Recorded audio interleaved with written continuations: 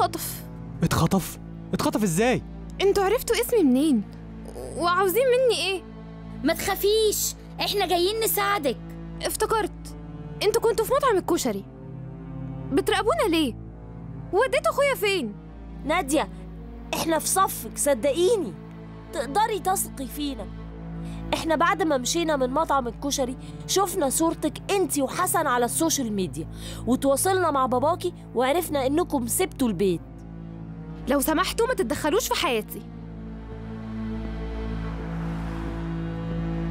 على الأقل خلينا نساعدك نرجع حسن أخوكي.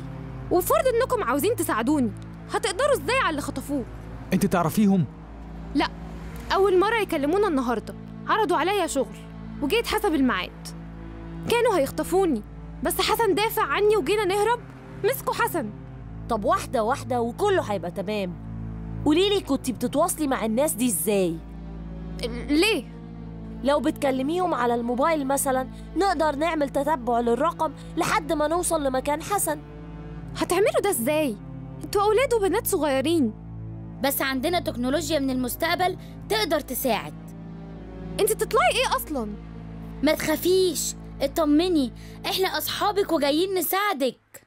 تعالي معانا عشان نتكلم براحتنا.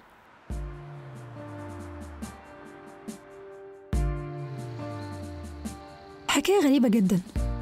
نادية عندنا في مقر العمليات. لازم نتحرك بسرعة عشان ننقذ أخوها. وفي نفس الوقت عايزينها ترجع لأهلها.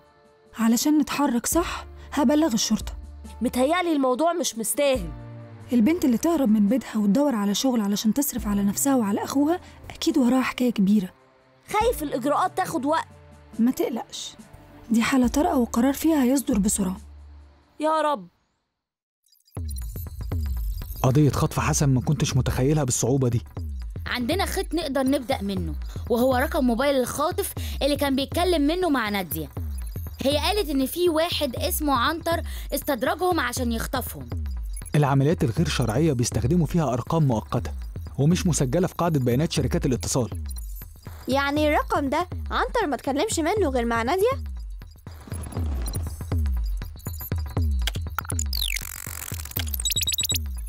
اتكلم مع رقمين تانيين. الرقم الأولاني يخص شركة تأجير سيارات والرقم التاني متسجل باسم واحد اسمه زكي. ممكن نبدأ من زكي. أكيد عنده معلومات مهمة. هتحرك أول ما نور يوصل. جمعت شوية معلومات عن زكي وعرفت إنه بيشتغل في توريد المواد الكيماوية والمستلزمات الطبية. غريبة قوي العصابة اللي خطفت حسن هتحتاج الحاجات دي من زكي ليه؟ الموضوع بيتعقد أكتر. أتمنى زكي يعترف بمعلومات تفيدنا. ما أعتقدش إنه شريك معاهم. وإلا كانوا تعاملوا بحرص أكتر وما تواصلوش معاه من رقم الموبايل ده. زكي ظهر. أستاذ زكي. أيوه أنا أوامر. عاوزين نعرف من حضرتك معلومة خاصة بعميل اتكلم معاك امبارح. ما أعتقدش إن اللي في سنكم هيكونوا شرطة. والشرطة هي الجهة الوحيدة اللي من حقها تسأل عن معلومات زي كده. هتفرق معاك لو قلنا إنها مسألة حياة أو موت. والله للأسف ما أقدرش أساعد. بعد إذنكم. الوقت بيضيع. ومش عارفين نساعد حسن اللي ما نعرفش اللي خطفوه دول عملوا فيه إيه. ما تقلقش عملت حسابي. مش فاهم. أنا استغليت الوقت اللي وقفنا فيه مع زكي ودخلت على موبايله وقدرت أنسخ المكالمتين اللي تموا مع عنتر. عاش والله. التسجيلات دي متهيألي هتحل اللغز.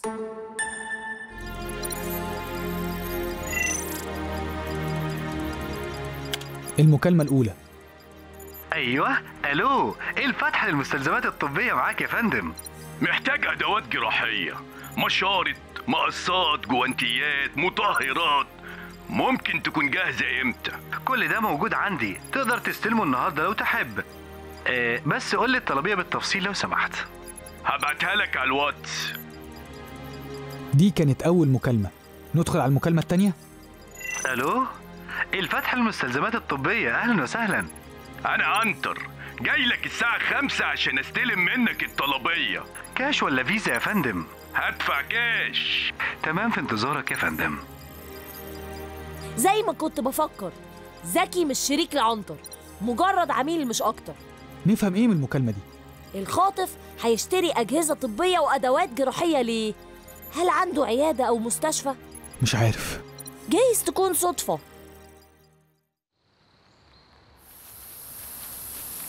عندي ليكي خبر حلو يا نادية. باباكي جاي علشان ياخدك. بابا؟ هو عرف مكاني؟ أيوه يا نادية وجاي يرجعك البيت. مين قال إني عايزة أرجع؟ نادية كلميني بصراحة. إيه المشكلة اللي بينك وبين باباكي؟ عايز يجوزني لواحد أكبر منه. نعم إزاي؟ انتي لسه صغيرة قوي. عمل كده مع أخواتي البنات وكلهم اتجوزوا في سني. أنا أختي الكبيرة عندها ست أطفال. واختي اللي بعدها عندها أربع أطفال واختي اللي بعدها عندها برضو أربع أطفال. هو أنتوا كام؟ ست بنات وولدين. وباباكي ما قدرش يصرف عليكم وبيجوزكم صغيرين. وطبعا أخواتك الولاد ما كملوش تعليمهم. أخويا الكبير سيد ما دخلش المدرسة وحسن في ستة ابتدائي.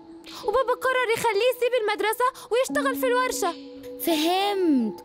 وانت هربتي ودورتي على شغل لأنك عاوزة تساعدي حسن يكمل تعليمه. مظبوط. وعنتر ده اللي كان عايز يخطفك. عرفتي منين؟ لقيت الرقم على النت. كان كاتب إن عنده مكتب توظيف. والد نادية جاي يا مس هايدي خليه يستنى. نادية مش هينفع تقابله دلوقتي. نرتب أمورنا الأول ونشوف هنعمل إيه.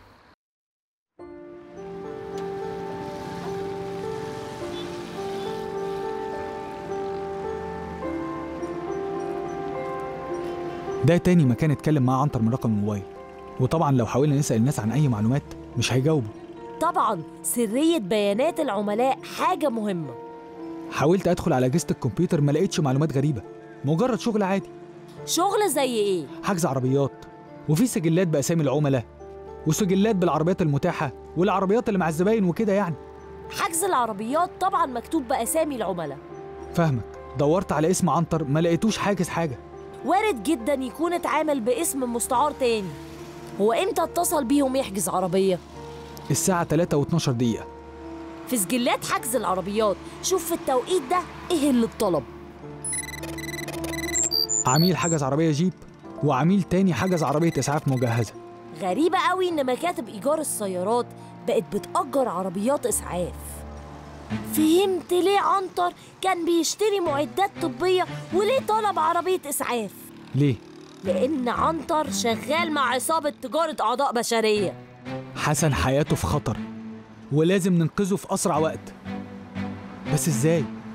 إزاي؟ يا ترى نور وأصدقائه هيتصرفوا إزاي؟ بيتهيألي هنلاقي حراسة جديدة هناك ده اللي هنعرفه في الحلقة الجاية